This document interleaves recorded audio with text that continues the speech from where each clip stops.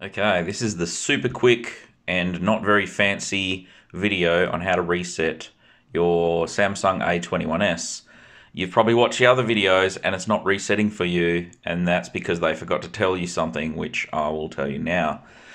Uh, okay, so make sure you've got enough charge on your phone, and what the bit that they didn't tell you is that you need to plug your A21s using a USB-C cable into a computer.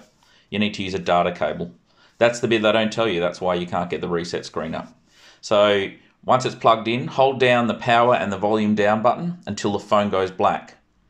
And then when the phone shuts down, like when it's gone black, you hold the power and the volume up button until the Samsung A21s screen comes up. When it comes up, you let, let the keys go. Let the power and the volume up keys go. And then wait five seconds. Uh, after five seconds, the hard reset screen will show up. So what you want to do is use the volume down key to go down to wipe data factory reset and then hit the power button to select that.